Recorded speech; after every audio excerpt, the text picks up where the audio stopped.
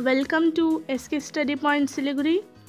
आप S K study point Siliguri. S K study point Siliguri के इस नए वीडियो में आपका स्वागत है। हम लोग देख रहे हैं क्लास सेवन का हिस्ट्री, मॉडल एक्टिविटी टास्क को। जी हाँ पर्यावरण व इतिहास class seven, model activity task one को देख रहे हैं। आप अपनी स्क्रीन पर पार्ट वन का क्वेश्चन पेपर को देख पा रहे होंगे और इन्हीं सब का सॉल्यूशन आपको मिलने वाला है। इसके बाद में पार्ट टू का हम लोग देखेंगे। अगर अभी तक आप इसके स्टडी पॉइंट सिलीगुड़ी को सब्सक्राइब नहीं किया है तो तुरंत सब्सक्राइब कर दीजिए, बेल बटन को भी दबा दीजिए, ताकि हर एक नए वीडियो का वीडियो, नोटिफिकेशन आपको मिलता रहे। तो चलिए आगे बढ़ते हैं और देखते हैं सॉल्यूशन पार्ट वन को। देखिए, सेन युग में बौद्ध धर्म का प्रचार व प्रसार कम हो गया था। इस विषय पर दो या तीन लाइन लिखिए। वंशानुगत दृष्टि से सेन पहले ब्राह्मण थे, देखिए। ठीक है? सेन पहले क्या थे? ब्राह्मण थे। इस चीज़ को आप समझ लीजिए। पहले वो लोग ब्राह्मण थे, उसके बाद में वे क्षत्रिय हो गए। ठीक है? सेन शासक जो थे, बल्लाल सेन, वे कट्टर ब्राह्मण थे। ठीक है? आचरण को उन्होंने प्रतिष्ठा किया। वहीं लक्ष्मण सेन जो थे, वैष्णव थे और उनके बाद में परवर्ती शासक क्या हो गए? शैव हो गए। ठीक है? शिव जी के उपासक हो गए। इस चीज़ को समझ लीजिए। इस कारण सेन वंश के शासकों ने बौद्ध धर्म के प्रचार प्रसार पर ध्यान नहीं दिया। ठीक है? नेक्स्ट क्वेश्चन को देखिए। प्राचीन बंगाल के जिस अंचल और नदी का नाम द्वितीय अध्याय में सेकेंड चैप्टर जो आपने पढ़ा है, में पढ़ाया गया है, उसकी तालिका तैयार कीजिए। तो देखिए, प्राचीन काल के अंचल कौन कौन है? पुंड्रवर्धन, वारेंद्र, बंग, बंगाल, राढ़, सुम, गौड़, समतट और हरिकेल। उसी तरह से नदी कौन कौन है? भागीरथी, पद्मा और मेघना। क्वेश्चन नंबर थ्री को देखिए। यह थोड़ा बड़ा क्वेश्चन है इसको ध्यान से समझिएगा। सामंतीय व्यवस्था जो था पस, भारत में उसका चित्र बनाना है मतलब पिरामिड का चित्र बनाना है जो साइड में आप देख रहे हैं। डायग्राम भी आपके स्क्रीन पर आ रहा होगा उसको देख लीजिए उसको केवल समझने के लिए आप देख लीजिए। उतारना नहीं है बनाना नहीं है। बनाना है जो आपकी स्क्रीन पर अब दिख रहा है। चित्र में सामंतीय व्यवस्था का त्रिभुज या पिरामिडिया आकार क्यों आवश्यक है, इसके बारे में आपको बताना है, ठीक है? तो कुछ डरने वाली बात है नहीं। सामंत व्यवस्था में सबसे ऊपर राजा होता था और उसके नीचे महासामंत और नीचे में सामंत और सबसे नीचे में कृषक होते थे। तो यह फ़र्स्ट फ़र्स्ट पार्ट का आंसर हो गया। अब द्वितीय पार्ट का आंसर देखिए, इस वाले हिस्से का। भारत के सामंती व्यवस्था में सबसे नीचे जनता है, उसके ऊपर सामंत या मध्यम श्रेणी के शासक, फिर मध्यम श्रेणी के शासकों के कुछ ऊपर महासामंत और सबसे ऊपर राजा होता था। इस तरह से राजस्व और शासन का अधिकार विभिन्न स्तरों में विभाजित होता होता था। अतः निचला हिस्सा अधिक चौड़ा हो गया, देखिए, क्योंकि कृषक ज़्यादा है और उसके ऊपरी हिस्सा में आस्ते आस्ते ऊपर जा रहे हैं तो देखिए क्या हो रहा है? पतला होते जा रहा है, छोटा होते जा रहा है, आकृति। तो इसीलिए त्रिभुजाकार या पिरामिड के आकार का तैयार हो जाता है। ठीक है? लास्ट क्वेश्चन देखिए पार्ट वन का। इसमें बोला गया, पाल और सेन युग में किस फ़सल की खेती होती थी? उसकी तालिका बनाना है और उनमें से किन फ़सलों की खेती अभी की जाती है? यह दिया हुआ है। देखिए, पाल वंश में खेती होती थी सरसों, धान, विभिन्न तरह के फल जैसे आम, कटहल, केला, मसूर, खजूर नारियल इत्यादि। केवल पाल वंश में दाल का उल्लेख नहीं है, ठीक है?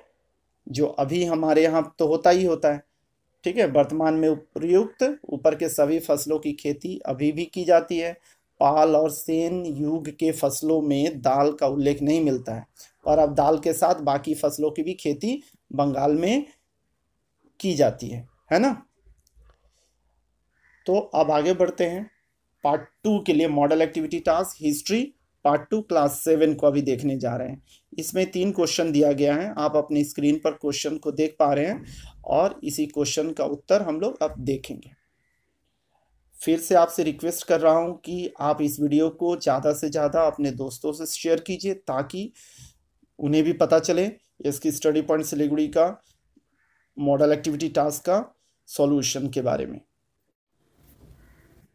देखिए पार्ट टू का पहला क्वेश्चन है शशांक बौद्ध विदुषी था, यह कहावत या कथन सही है या गलत है बताना, तीन से दो से तीन वाक्य में उत्तर देना है। यह तो संभव है नहीं, फिर भी हम लोग थोड़ा सा ज़्यादा ही लिखेंगे, देखकर समझने की कोशिश कीजिए।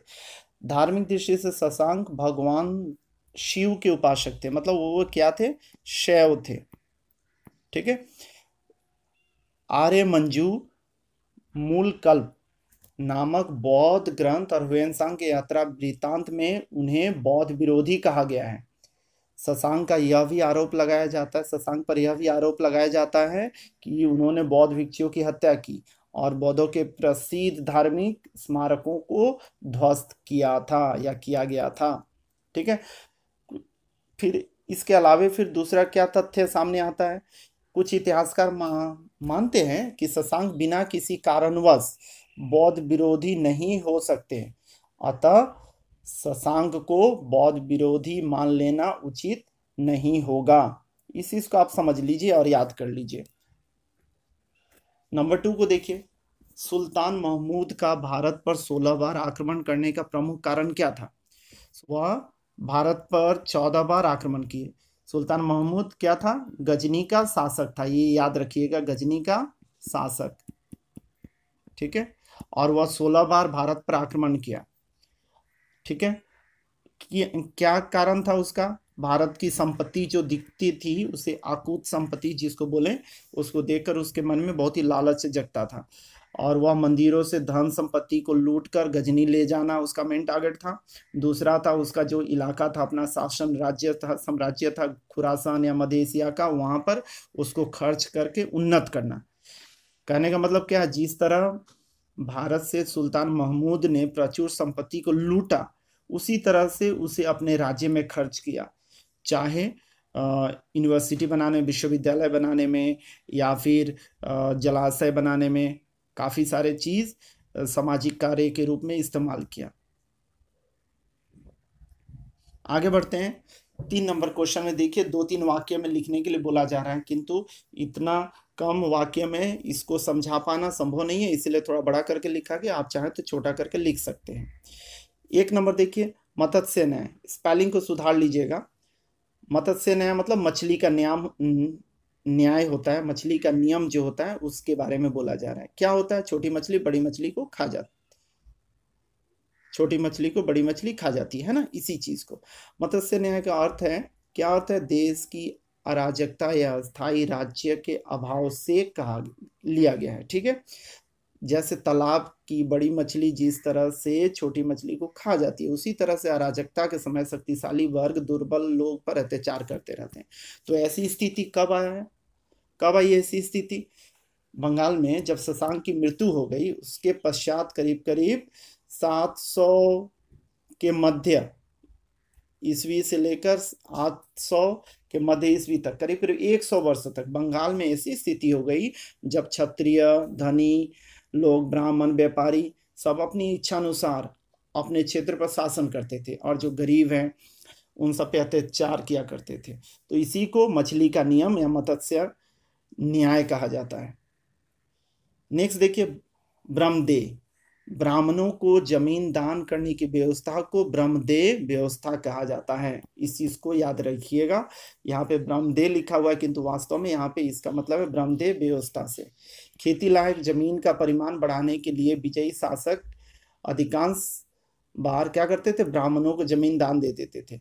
और वे लोग बंजर ज़मीन को, बंजर ज़मीन को और जंगल को साफ़ करके बस्ती का निर्माण करते थे और इन जमीनों का कर भी उनसे नहीं लिया जाता था ब्राह्मणों से। ठीक है, यही है ब्रह्मदेव व्यवस्था। लास्ट क्वेश्चन देखिए, खिलाफत के बारे में टिप्पणी लिखना है, उसके बारे में बताना है। मोहम्मद साहब की मृत्यु के बाद, ठीक है, इस्लाम धर्म के संस्थापक जो थे, मोहम्मद साहब, उनकी मृत्यु के बाद उनके चार प्रमुख साथी एक एक करके मुसलमानों के नेता बनते हैं। ठीक है, ये सब पता है। अरबी शब्द में खलीफा का अर्थ होता है प्रतिनिधि या उत्तराधिकारी। फलतः इस्लामिक जगत में खलीफा ही राजनीतिक और धार्मिक नेता बन गए उस समय, ठीक है? जिन क्षेत्रों में इस्लाम का प्रभाव फैल गया, वे दर अल इस्लाम कहलाए और उनके अधिकारी क्षेत्र का नाम क्या हो गया? खिलाफत हो गया। इसी को खिलाफत कहा जाता है। तो उम्मीद कर रहा हूँ आपको समझ में आ गया होगा। Part one, part two history का। नोट डाउन कर लीजिएगा और अपने दोस्तों से शेयर कीजिएगा। Thank you very much for watching us at SK Study Point Siliguri.